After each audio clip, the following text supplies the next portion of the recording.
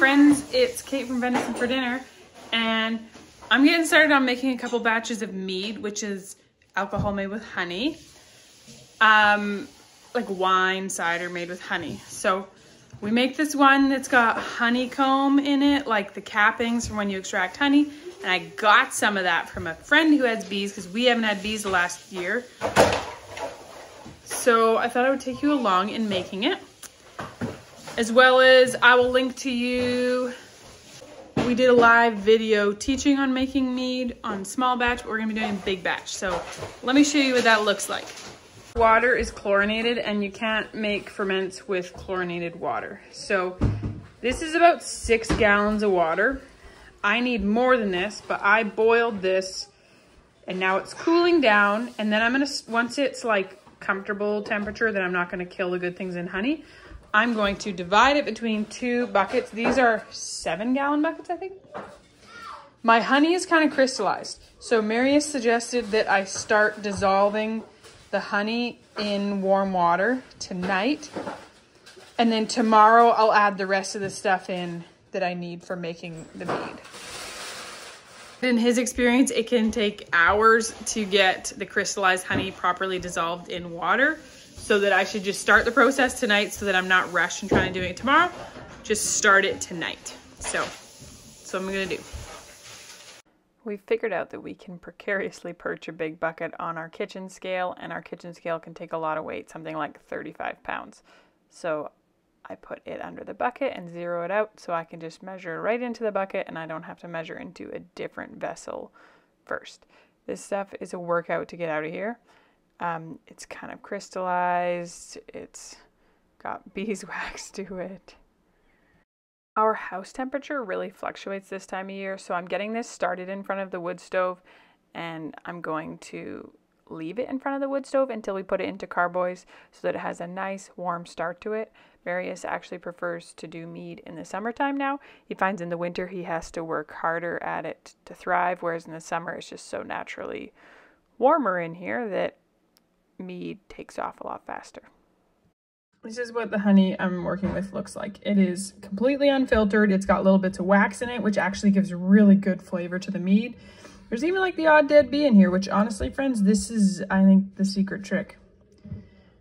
Um, you can see like a bit of liquid honey in the bottom, but it's pretty kind of crystallized and chunky. And this is a arm workout to do here, friends.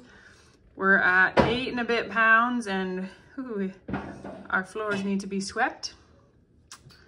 Every day they get swept, you'd never know, but we're at about the 23rd and a half hour since the floors were swept, so they're ready for it. I'm aiming for about 10 pounds here, I think. I should look at my recipe.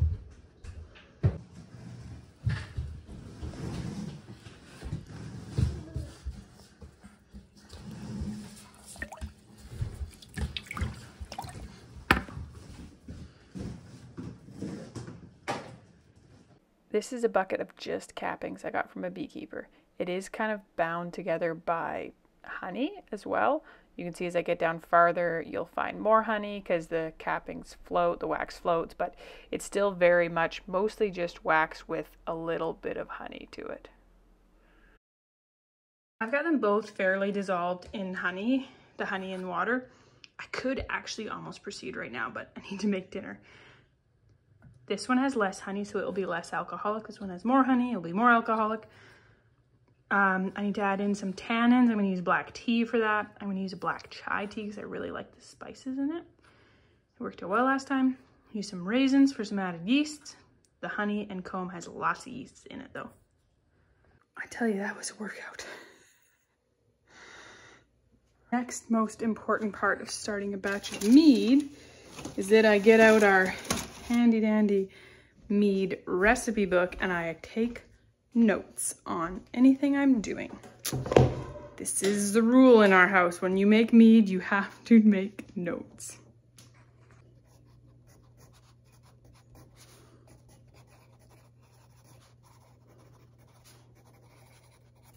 I know the right word. My blue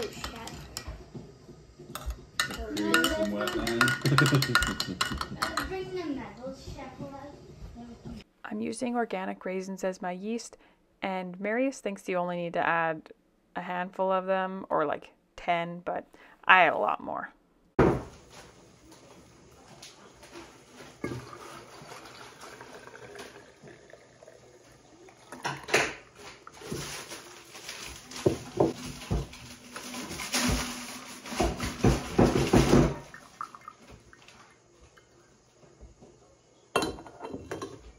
Tea is obviously still pretty hot, but because I get stirring it right away, I'm not worried about it killing the good stuff in the honey.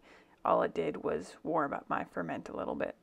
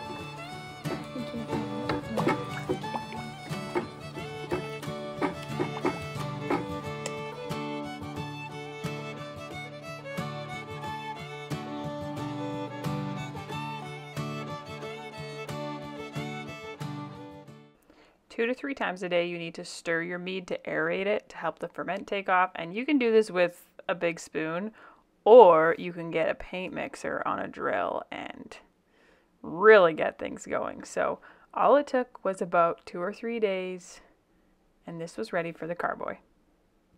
As you noticed, we don't add any commercial yeast to this recipe. Sometimes we do, depending on what mead we're making. But if we're making something that's got lots of its own yeasts going on, then we don't bother. If we're making something like with store bought peaches that we know are from, they're not organic, and so they're sprayed, the amount of yeast they have left on the skin is less. And so Marius likes to add a yeast. He uses a champagne yeast and it helps make sure things take off. Non-sanitary hillbilly process, yeah. Well, considering I have dead bees in it. So we know the fermentation has taken off because when we move aside the dead cappings bees. and the wax and dead bees, you can, you can, can I do this right yeah, now? okay. Right. You can see bubbly action, right? Those foaminess and you can hear bubbles popping, so to speak, which is fermentation happening. This is normally just a one person job, but with the cappings, they like to kind of bung up. So it's better if there's someone on hand to help you get the funnel unstuck. Maybe there's a wider funnel out there that would work better, but not that we're aware of. And this is one we already had, so we'd rather just make use of what we had. I got this batch started, and this is technically my batch of mead, but I didn't even have to ask Marius for help. There was no way he was letting me lift these big heavy buckets. My hips really don't need that right now.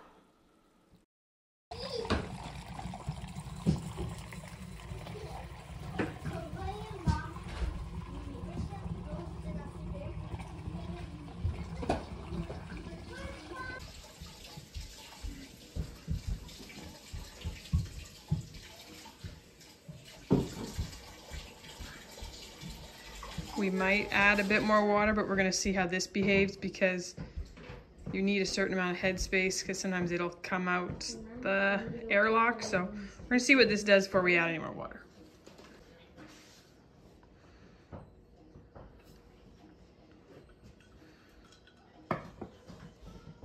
Oh, yeah, you should call that He's good at the moment. It's good. Still spinning. Once it clumps up.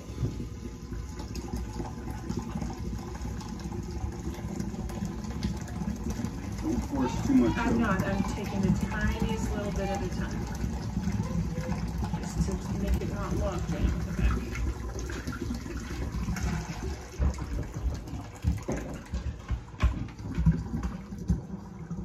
Alright, piano and mats is all you want? Yeah. Sweet. Thanks for watching, friend. I'll be sure to include the recipe notes for what I did in the video description below, so if you want to get your own batch going, you can try it out too. I'm going to be honest with you, once we got it into the carboys, the fermentation kind of halted, and so we ended up taking the airlocks off and just covering it in a coffee filter with an elastic. And once or twice a day, Marius stirred it with a long spoon, and within a couple days, he could tell that it was happy fermenting again. Often, if a fermentate ferment like mead is not taking off like you want, it just needs a little bit more oxygen to get going. So now it's bubbling. Because it's not really warm in our house, it's not a super fast ferment, but it's fermenting. And I can't wait to show you the rest of this come summertime when it's time to try it and bottle it.